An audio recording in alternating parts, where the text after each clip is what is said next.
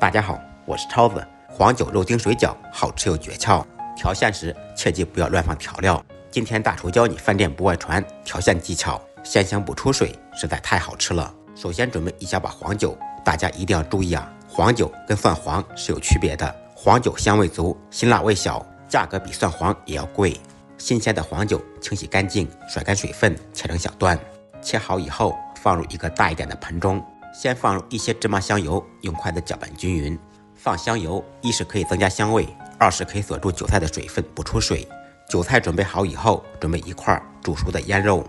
腌肉的制作方法，我曾经出过视频，做一次可以吃很久，而且味道与众不同。想学习的可以在我主页自行搜索。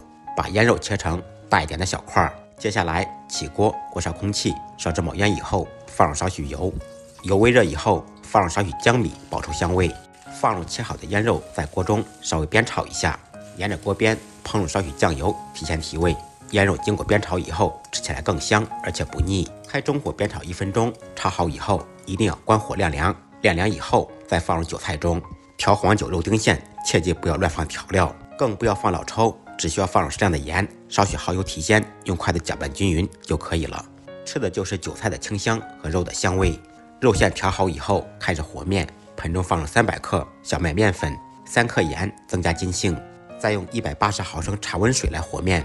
先把面粉搅成面絮，再下手揉成光滑的面团。面团揉好以后，醒三五分钟，再放到案板上，再次简单揉搓几下，排出气体，搓成长条，切成大小相等的剂子。再把小面剂依次按压成饼状，用擀面杖擀成薄薄的厚片。调好的黄酒肉丁馅放到面片里面，想尽一切办法把它包住。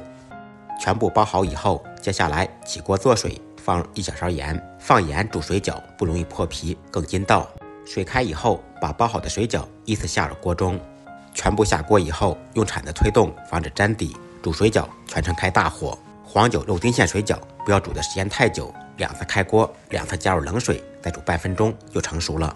煮至水饺全部飘起来，用手按压不瘪，这个火候刚刚好，捞出来装入盘中。这样做的黄酒肉丁水饺，鲜香不腻，不破皮，不露馅，实在是太好吃了。喜欢你也点赞收藏，给家人做起来吧。再忙再累，记得按时吃饭。下期视频见，拜拜。